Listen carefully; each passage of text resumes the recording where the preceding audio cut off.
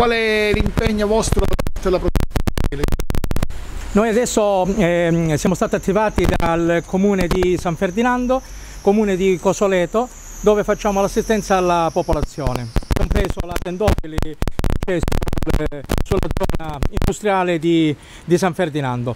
Adesso portiamo alcune eh, medicinali e, e, e viveri di prima necessità e stiamo andando al porto perché c'è un'imbarcazione che con questo maltempo eh, quindi è, ha, ha, dovuto fare un'emergenza come sosta al porto di Gioia Tauro. Quindi con tutti i criteri della, che hanno preso già sia la capitaneria di porto queste persone da due giorni sinceramente che non hanno la possibilità di poter mangiare. Quindi questa mattina stiamo provvedendo a portare sia il mangiare sia i, le medicine.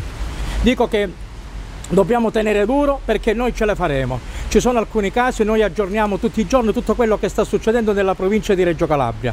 Alcuni casi che noi abbiamo visto, nella provincia siamo già a 88, quindi 88 casi positivi che si sono registrati in varie eh, parti della provincia di Reggio Calabria.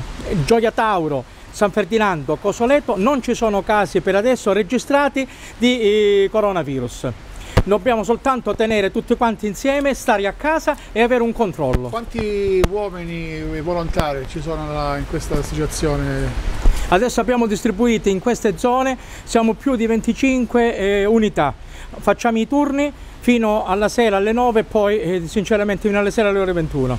Facciamo questi turni perché i, la zona è abbastanza larga, è abbastanza grande, quindi, quindi chi, per ha, andare... chi ha bisogno chiama a voi e voi siete gli angeli di questa gente che ha bisogno?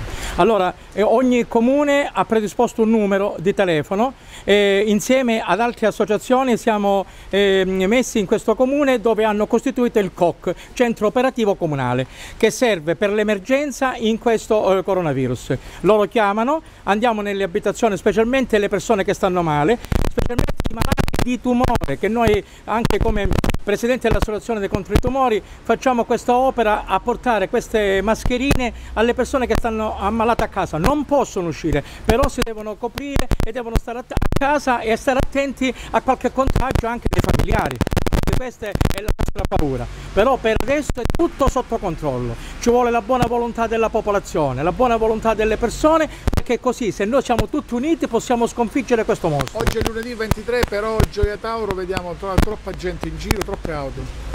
Oggi è lunedì, però tutti quelli, siccome il decreto che ha fatto il sindaco è stato un decreto un pochino restrittivo, anche perché grazie anche a questo decreto le uscite sono pochissime. Oggi la maggior parte devono andare o a fare la spesa o andare nelle farmacie, quindi la gente è, è tantissima, noi contiamo Gioia Tauro che sono 20.000 abitanti, quindi in percentuale queste macchine potrebbero essere, potrebbero essere giustificate, ma non tutti, ma non tutti. Voi fate tutto questo gratuitamente? Tutto gratis, senza essere essere retribuiti, eh, mettiamo i soldi noi eh, per la benzina, mettiamo, eh, compriamo un panino noi, per esempio per quanto riguarda le mascherine devo ringraziare qualcuno che li sta facendo. Adesso ce l'hanno regalato per i malati tumori la panetteria d'Agostino. Quei ragazzi si sono messi loro che era domenica ieri e ci hanno fatto 100 mascherine. 50 ce l'hanno consegnata adesso.